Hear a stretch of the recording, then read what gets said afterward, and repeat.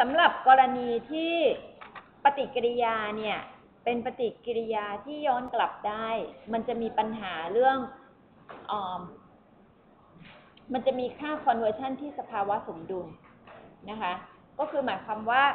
ที่อุณหภูมิเพิ่มขึ้นหรืออุณหภูมิต่ำๆที่อุณหภูมิต่ำหรือที่อุณหภูมิสูง เราจะพบว่าค่า conversion ที่ที่เราควรจะได้มันน่ะมันจะมีข้อจำกัดอยู่ตาม หลักทางเทอร์โมไดนามิกคือเราไม่มีทางได้ค่าสูงกว่าค่านี้นะคะ เราจะเรียกมันว่า equilibrium conversion บอกเอาถ้าทำอย่างนี้ ถ้าในพอมันเป็นลักษณะนี้แล้วเราจะแก้ปัญหายังไง หมายความว่าอย่างกรณีนี้เนี่ยมันเป็นรูปของ equilibrium conversion สำหรับปฏิกิริยาที่เป็นปฏิกิริยาคลายความร้อน ในไอเดียของเราในในในฐานะผู้ผลิต เราอยากได้ conversion สูงสูง แต่ในบางครั้งเนี่ยปฏิกิริยาเนี่ยการที่จะให้มันเกิด เราไม่สามารถควบคุมให้มันไปเกิดที่อุณหภูมิต่ำๆได้ถูกไหมคะตัวนี้เนี่ยถ้าทำที่อุณหภูมิต่ำๆคุณจะได้ conversion สูง แต่ถ้าทำที่อุณหภูมิสูงๆมันจะได้ conversion ต่ำแต่เนื่องจากมันเป็นปฏิกิริยาคลายความร้อนเนี่ยมันคลายความร้อนออกมายังไง มันก็ต้องสูงตลอดแล้วทำอย่างแล้วมันเป็นลักษณะนี้เราจะมีวิธีการออกแบบเครื่องปฏิกรณ์อย่างไร พื่อที่จะทำให้ได้ conversion สูงนะคะอะเขาบอกว่า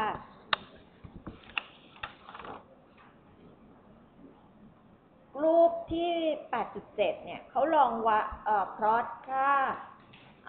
energy balance นะคะ ในกรณีที่เขาเอ่อลองเปลี่ยนอุณหภูมิที่ทางเข้า เหมือนกับเวลาที่เราฟีดสารเข้าไปในเครื่องปฏิกรณ์เนี่ย เราสามารถฟีดที่อุณหภูมิต่างๆได้นะคะเขาลองฟีดที่อุณหภูมิที่ต่างๆกันออกไป เพื่อที่จะดูว่าเอ๊ะแนวโน้มของการที่จะได้ค่า conversion เป็นอย่างไร เส้นที่เราวาดตัวนี้เนี่ยเป็นเส้น equilibrium conversion นะคะะส่วนเส้นตรงที่ตัดอยู่ตรงนี้เนี่ยเป็น energy balance ที่เราฟีดสารที่อุณหภูมิต่าง ๆ กัน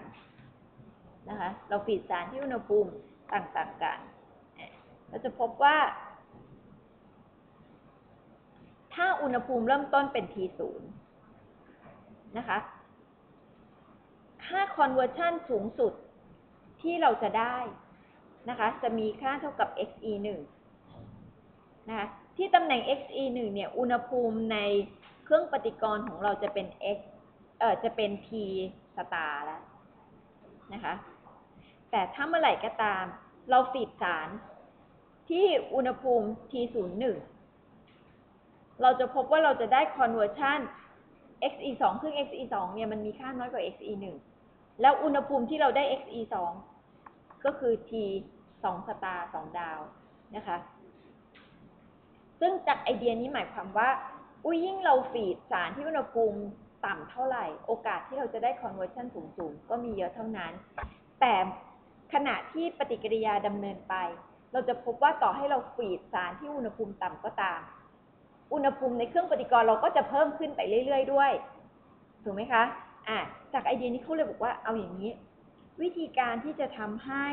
ได้ค่า conversion สูงๆ ในกรณีที่ระบบเนี่ยเป็นระบบที่มีเป็นปฏิกิริยาที่ย้อนกลับได้นะคะ และเป็นปฏิกิริยาคลายความร้อนด้วยเนี่ยเขาบอกให้ทำแบบนี้ ถ้าอยากได้ conversion สูงๆนะคะ ก็เราจะไม่ใช้เครื่องปฏิกรณ์แค่ตัวเดียว เราจะใช้เครื่องปฏิกรณ์มากกว่าหนึ่งตัว ตอนแรกเนี่ยเราก็ไปดู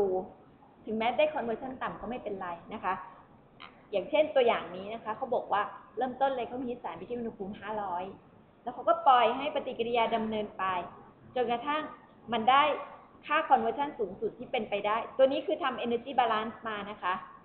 เขาดีไซน์วาด energy balance ไปทำ energy balance ของเขามาได้กราฟเส้นนี้ขึ้นมา เสร็จปุ๊บพอได้ equilibrium conversion ตำแหน่งนี้ สิ่งที่เขาทำก็คือเขาไม่ให้มันอยู่ในเครื่องปฏิกรณ์แล้ว เอามันออกมา จากนั้นก่อนที่จะฟีดเข้าไปดึงเอาออกคือผ่านเครื่องปฏิกรณ์ออกมาเลย ได้เท่านี้ ดึงอุณหภูมิตัวนี้ ตกกลับไปที่อุณหภูมิต่ำๆที่500เหมือนเดิม คือออกมาในอุณหภูมิเท่าไหร่เนี่ย800ถูกไหมคะ ได้ conversion แค่ 0.4 เอง ออกมาปุ๊บทำยังไง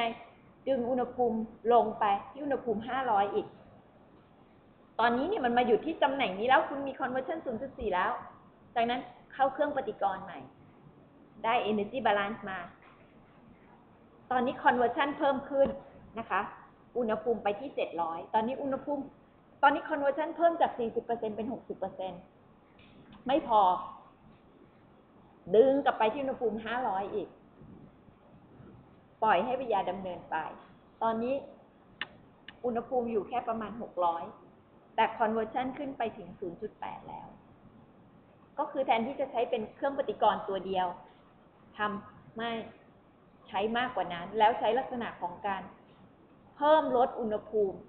ในทางที่จะทำให้เราได้ค่า conversion สูงขึ้น อย่างกรณีนี้เห็นชัด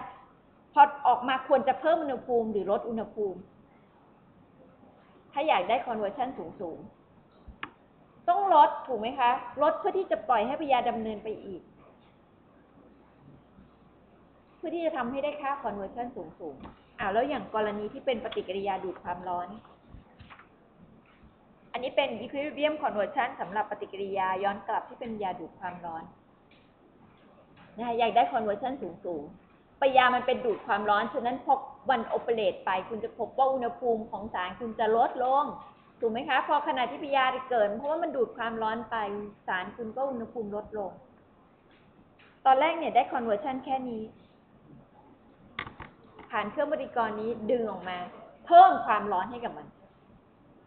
นะคะพอเพิ่มความร้อนให้กับมัน ปล่อยให้มันดำเนินไป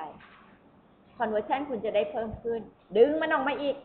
เพิ่มอุณหภูมิให้กับมัน คือพยายามเอาความร้อนใส่เข้าไปให้มัน มันจะได้เกิดปฏิกิริยาได้เยอะๆ แต่แน่นอนเราไม่สามารถใส่เข้าไปตูมเดียว เพราะใส่เข้าไปตูมเดียวเนี่ยยังไงก็ไม่ได้ เพราะว่ามันยังอยู่ช่วงขาขาต่ำๆอยู่นะคะ ฉะนั้นก็ต้องใช้ลักษณะของการใช้เครื่องปฏิกรณ์มากกว่าหนึ่งตัวนะคะ ในการที่จะ พิ่มค่า conversion ให้กับสารของเรา นี่นี่ก็เป็นเทคนิคหนึ่งนะคะ